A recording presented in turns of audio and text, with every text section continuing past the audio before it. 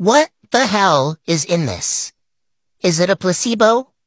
Is it crack?